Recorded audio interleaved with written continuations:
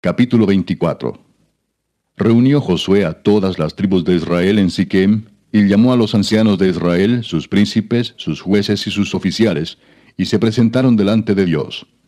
Y dijo Josué a todo el pueblo, Así dice Jehová Dios de Israel, Vuestros padres habitaron antiguamente al otro lado del río, esto es, Taré, padre de Abraham y de Nacor, y servían a dioses extraños.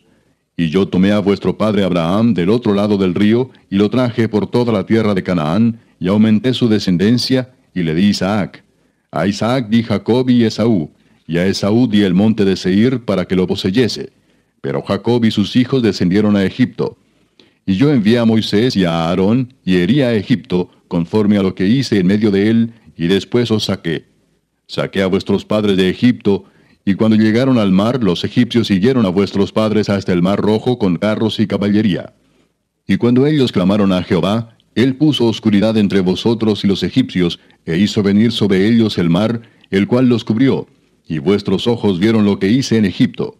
Después estuvisteis muchos días en el desierto. Yo os introduje en la tierra de los amorreos, que habitaban al otro lado del Jordán, los cuales pelearon contra vosotros.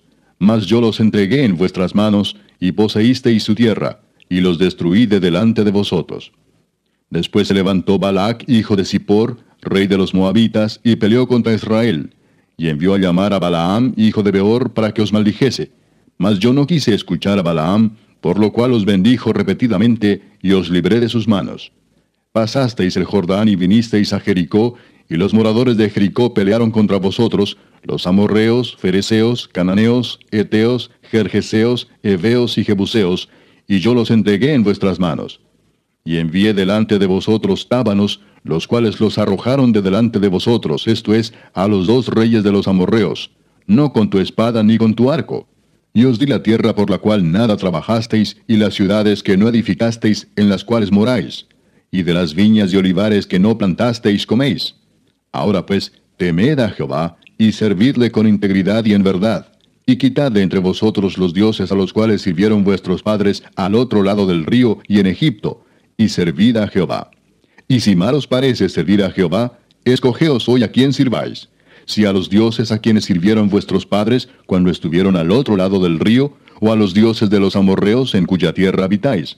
Pero yo y mi casa serviremos a Jehová.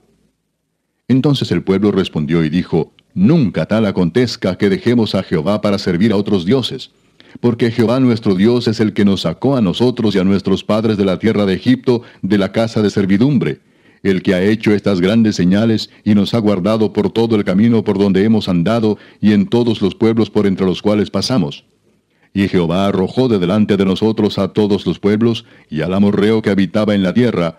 Nosotros pues también serviremos a Jehová, porque Él es nuestro Dios. Entonces Josué dijo al pueblo, No podréis servir a Jehová, porque Él es Dios santo y Dios celoso, no sufrirá vuestras rebeliones y vuestros pecados. Si dejareis a Jehová y sirviereis a dioses ajenos, Él se volverá y os hará mal y os consumirá después que os ha hecho bien. El pueblo entonces dijo a Josué, No, sino que a Jehová serviremos. Y Josué respondió al pueblo, Vosotros sois testigos contra vosotros mismos, de que habéis elegido a Jehová para servirle y ellos respondieron, Testigos somos. Quitad pues ahora los dioses ajenos que están entre vosotros, e inclinad vuestro corazón a Jehová, Dios de Israel. Y el pueblo respondió a Josué, A Jehová nuestro Dios serviremos, y a su voz obedeceremos. Entonces Josué hizo pacto con el pueblo el mismo día, y les dio estatutos y leyes en Siquem. Y escribió Josué estas palabras en el libro de la ley de Dios, y tomando una gran piedra, la levantó allí debajo de la encina que estaba junto al santuario de Jehová. Y dijo Josué a todo el pueblo, He aquí esta piedra nos servirá de testigo, porque ella ha oído todas las palabras que Jehová nos ha hablado. Será pues testigo contra vosotros, para que no mintáis contra vuestro Dios. Y envió Josué al pueblo, cada uno a su posesión. Después de estas cosas murió Josué hijo de Nun, siervo de Jehová, siendo de ciento diez años. Y le sepultaron en su heredad en Timnat que está en el monte de Efraín, al norte del monte de Gaas.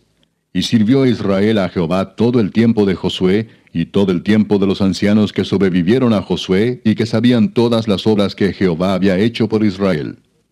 Y enterraron en Siquem los huesos de José, que los hijos de Israel habían traído de Egipto, en la parte del campo que Jacob compró de los hijos de Amor, padre de Siquem, por cien piezas de dinero, y fue posesión de los hijos de José. También murió Eleazar, hijo de Aarón, y lo enterraron en el collado de Finés, su hijo, que le fue dado en el monte de Efraín.